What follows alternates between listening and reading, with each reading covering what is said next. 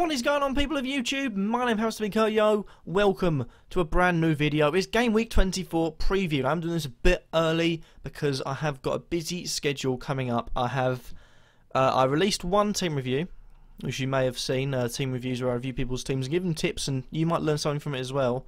But also gained two more before the next one came out, so I now have five instead of four to do.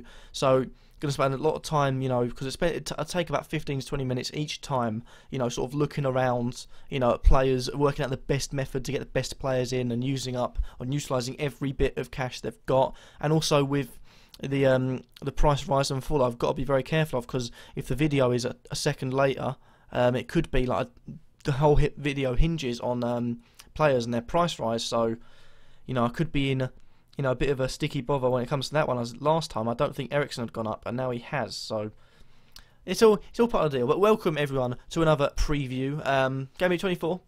It's a, it's a, it's after the FA Cup, but it's midweek, so I thought I'll give myself a chance. I might do a follow-up video after the FA Cup is done with, just so you can get sort of a recap on everything. But I'm going to give you three players, each position, who I think are going to do well, who I know are going to do well, because I've been right a lot of the time recently and I've never put players into my team, so I'm beginning to consider putting them players into my team. But we start off with goalkeepers, as per usual, and I'll be able to search them from here. First up, we've got Mr. Adrian from West Ham. Not known for keeping clean sheets. In fact, if you have a look at West Ham so far this season, five clean sheets. Um, admittedly, it's been seven because Liverpool and Newcastle he was sent off for after he...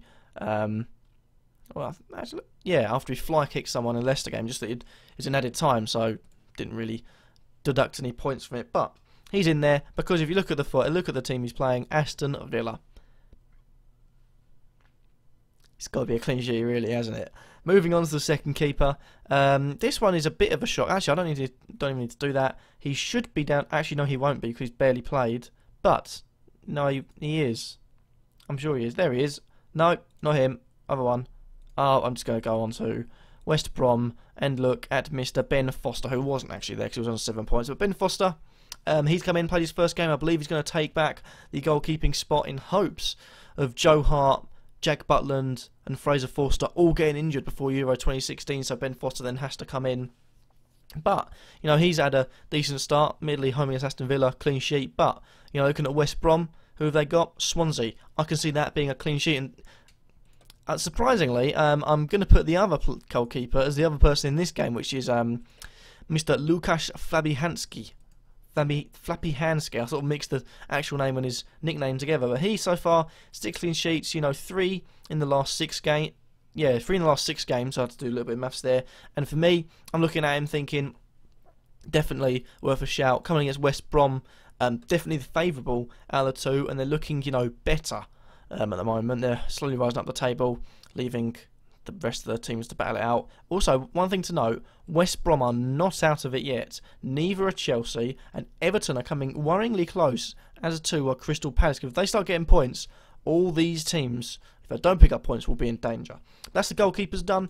I've raffled on a lot, so I'll try and get the defenders done pretty quick. Um, starting off with actually another West Brom player, and his name is Craig Dawson. Put him in there because he's the most, or the probably the best um, defender they've had so far this season.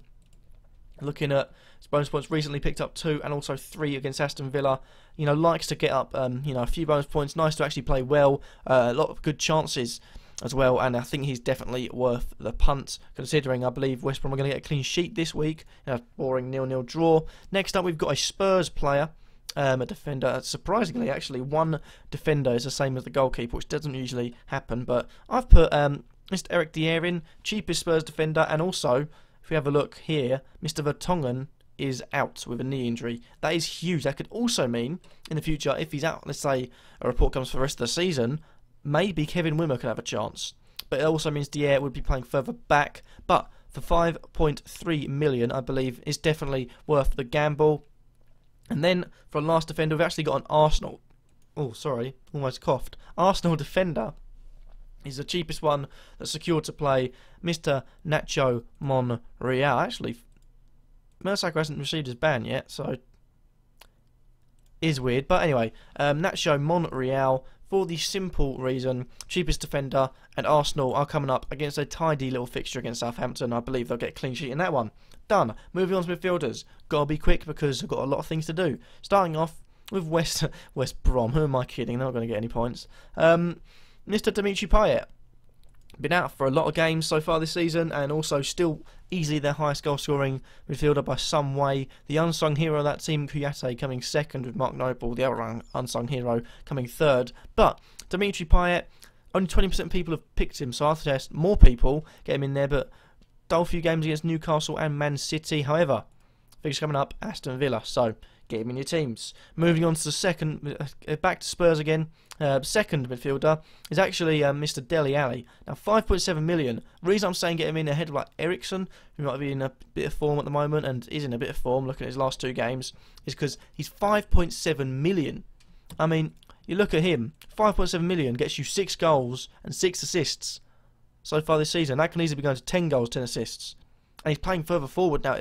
The, the injury might hinder him meaning he can go further back. But he also did damage being further back, as you can see by the goal, the two assists. So it won't slow down.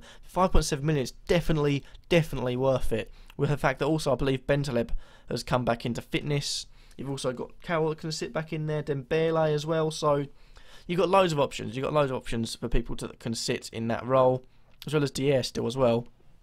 And um, that's why he's in there. And lastly, we've got a Liverpool player, Roberto Firmino, hit a bit of good form recently, 13 and then 18. But also, not only that, you know, good, good performances like against Leicester, grabbed himself an assist. He also had a decent game against Man City. So I believe he's starting to, you know, feel his way into Liverpool especially because he's a player that likes to play the um, Jurgen Klopp way. And I believe it's definitely worth taking a risk on him because he could score big points and now finally the attackers. And I will say it again to people that haven't maybe listened to me yet.